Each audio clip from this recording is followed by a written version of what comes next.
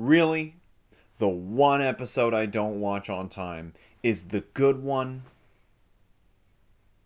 Eh. Ooh, that's a hot mug, guy. Hey guys, this is my review for Supernatural Season 15, Episode 17. You might be kind of wondering what's with the get up here. Well, it was Halloween work day, and I dressed up as my Mad Max War Boy combination, and uh, I haven't had a chance to wipe it off because I literally got home just a few hours ago, and I just finished this episode, and some people were saying this is the best episode of the season so far. It's not hard to say that it that ain't false. This episode has the brothers kind of coming to a head. We have Amara kind of coercing, trying to convince God to go back on his decision, while Dean is taking Jack off to turns out to be Adam, like original Adam, who actually, in fact, the actor who's in it was in Battlestar Galactica. I knew I recognized him, but he was in Battlestar Galactica, which is like over 15 years ago, which is crazy. They get his rib, because apparently his rib has absolute incredible divine power.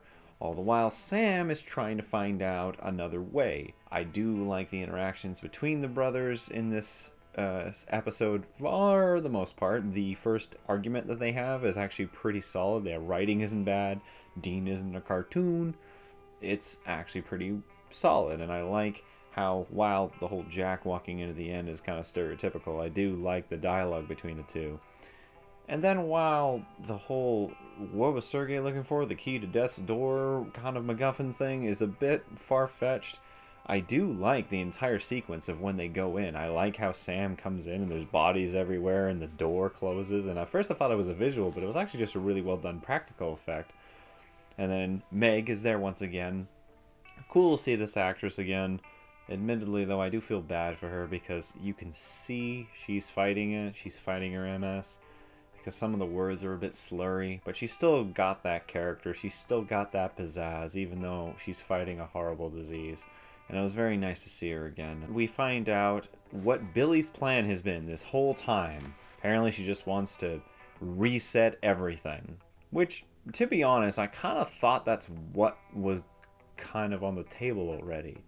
When you kill the two main deities, you have to kind of hit a reset button. Uh, that, or it's because I've been watching The Good Place too much. Maybe that might be why. The whole twist of Billy being not what she appears to be isn't exactly a big surprise considering the lacking amount of interaction we've had with this character in this final season and just how repetitive and boring she has been in terms of what her presence is.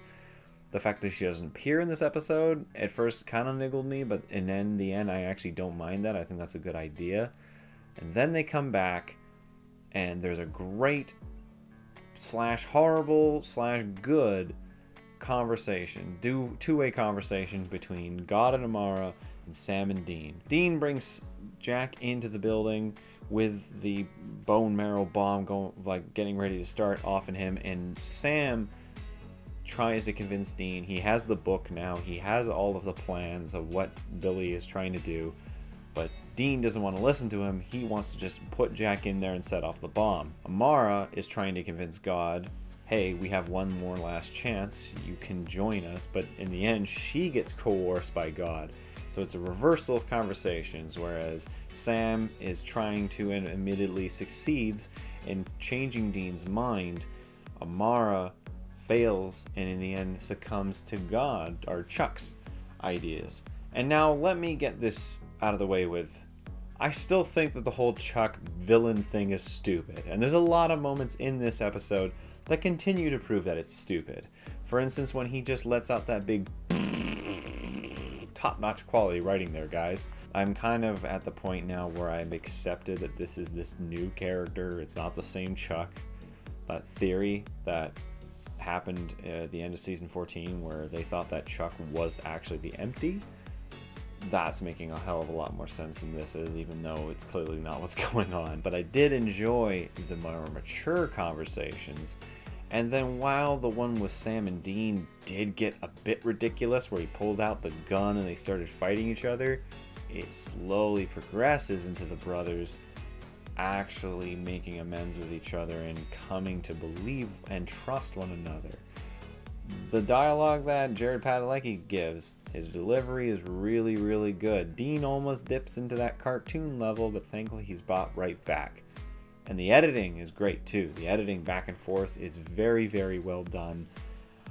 In terms of concept, in terms of actual f- forward based story, this is, in fact, the best episode of this season. Sure, you got to accept all the ridiculous redundancies that this show has done to its characters, to the story, to the lore itself, but on its own basis, this is the best episode of the season so far. Because the only other two that I can think of that come close are the pool game episode, which was all based on that stupid idea of them having to get their luck back, and Eileen coming back with those witches things. Was it on the last? No, no, no. I think it was in this season.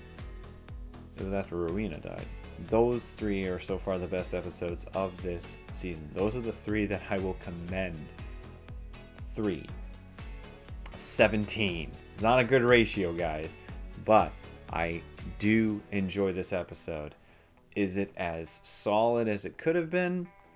There are a few moments that are just a little bit odd. The whole Adam Eve thing, the the rock test, the whole childness of God in certain situations, them going to what I assumed was heaven, but nothing about the whole fact that heaven dying thing.